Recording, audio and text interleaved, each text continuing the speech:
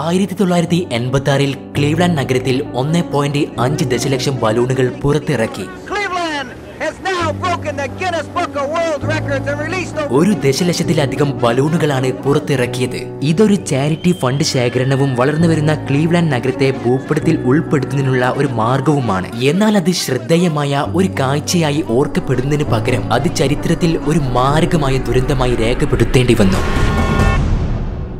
ഈ പരിപാടിയെ balloon fest എന്ന് വിളിച്ചിരുന്നു. ഇത് റീബ്രാൻഡ് ചെയ്യാനുള്ള ക്ലീവ്ലാൻഡിന്റെ ഒരു മാർഗമായിരുന്നു. നിങ്ങൾക്കറിയാം അക്കാലത്ത് അവർക്ക് വളരെ പരുക്കൻ പ്രശസ്തി ഉണ്ടായിരുന്നു. അത് അതിന്റെ അറിയപ്പെടുന്ന വിളിപ്പേര് കൊണ്ട് ഉദാഹരിച്ചു.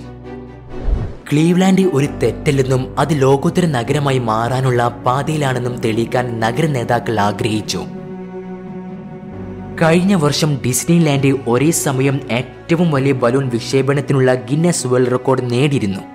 ചില കാരണങ്ങളാൽ ക്ലീവ്ലാൻഡിന്റെ പ്രതിച്ഛായ വൃത്തിയാക്കാൻ ആരംഭിക്കുന്നതിനുള്ള മികച്ച മാർഗം ഡിസ്നിലാൻഡിനെ മറികടക്കുകയാണെന്ന് നഗര നേതാക്കൾ കരുതി.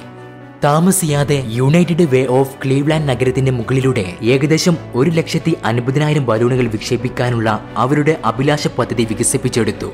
ഒരു സിറ്റി ബ്ലോക്കിന്റെ വലിപ്പത്തിലുള്ള വലയുടെ നിർമ്മാണം ഉൾപ്പെടെ ആറു മാസത്തെ ആസൂത്രണമാണ് പരിപാടിക്ക് വേണ്ടി വന്നത് ബലൂണുകൾ നിറക്കാൻ ആയിരക്കണക്കിന് സന്നദ്ധ പ്രവർത്തകർ മണിക്കൂറോളം എടുത്തു.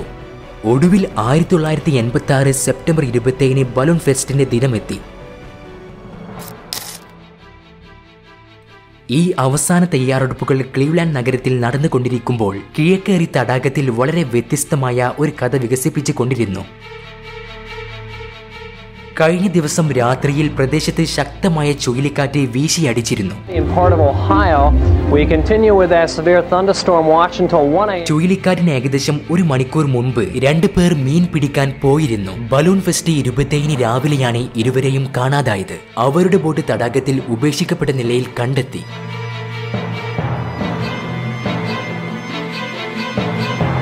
കാലാവസ്ഥ കാരണം അവർ കടലിൽ വീണതാണെന്ന് അധികൃതർ സംശയിച്ചു. കോസ്റ്റ് ഗാർഡ് ഉടൻ തിരച്ചിൽ രക്ഷാപ്രവർത്തനം ആരംഭിച്ചു.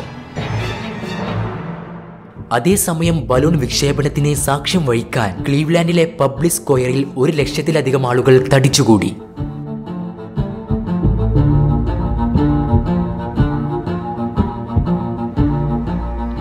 എന്നാൽ ദിവസം കഴിയുന്തോറും കാലാവസ്ഥ വീണ്ടും മോശമായി. ഒരു വലിയ മഴ കൊടുങ്കാറ്റ് അടയുന്നുണ്ടായിരുന്നു. പക്ഷേ ബലൂണുകൾ അപ്പോഴേക്കും നിറഞ്ഞു പോകാൻ തയ്യാറായി കഴിഞ്ഞിരുന്നു. ഈ ഘട്ടത്തിൽ ഷെഡ്യൂൾ ചെയ്യുന്നത് ഏതാണ്ട് അസാധ്യമായിരിക്കും. അതിനാൽ അവർ ഷെഡ്യൂളിന് മുമ്പായി ബലൂണുകൾ പുറത്തിറക്കി. അതിൽ യാതൊരു സംശയവുമില്ലായിരുന്നു.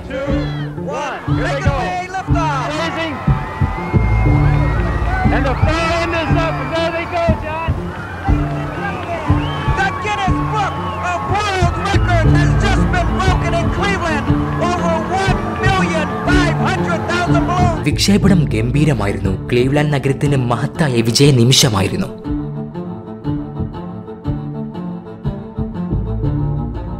പക്ഷേ നിർഭാഗ്യവശാൽ ഈ വിജയ നിമിഷം അധിക നാൾ നീണ്ടു നിന്നില്ല. ഹീലിയം നിറച്ച ബലൂണുകൾ കുറച്ചു നേരം പൊങ്ങിക്കിടക്കുമെന്നായിരുന്നു പ്രതീക്ഷ. പക്ഷേ സംഭവിച്ചത് അതല്ല. തണുത്ത വായുവും വരാനിരിക്കുന്ന മഴയും ഉടൻ തന്നെ ഊതിവീർപ്പിച്ച പതിനായിരക്കണക്കിന് ബലൂണുകൾ കൂട്ടത്തോടെ നിലത്തേക്ക് പതിച്ചുകൊണ്ടിരുന്നു. കൂട്ടക്കുഴപ്പമായിരുന്നു ഫലം.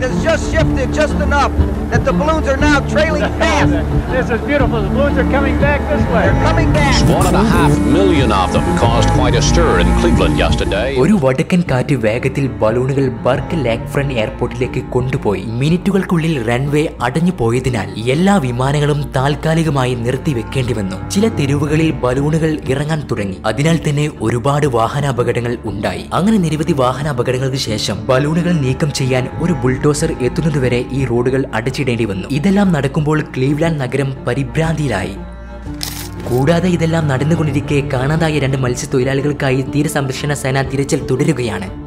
Ironically, that big balloon launch in Cleveland today is one of the things that's making this search so tough for the Coast Guard. ഇന്ന് ക്ലീവ്ലാൻഡിൽ നടന്ന ആ വലിയ ബലൂൺ വിക്ഷേപണം കോസ്റ്റ് ഗാർഡിനെ ഈ തിരച്ചിൽ വളരെ കഠിനമാക്കുന്ന ഒന്നായി മാറി landed here instead of the plan 10%. It's like trying to find a needle in a haystack here. Can you imagine trying to find somebody floating out here or even spotting a life jacket? September ഇരുപത്തൊമ്പതിന് ബലൂണുകൾ വിക്ഷേപിച്ച് രണ്ട് ദിവസത്തിന് ശേഷം കാണാതായ രണ്ട് മത്സ്യത്തൊഴിലാളികൾക്കായുള്ള തിരച്ചിൽ തീരസംരക്ഷണ സേന അവസാനിപ്പിച്ചു കുറച്ച് സമയത്തിന് ശേഷം രണ്ടുപേരുടെയും മൃതദേഹങ്ങൾ കരയിലേക്ക് ഒഴുകി.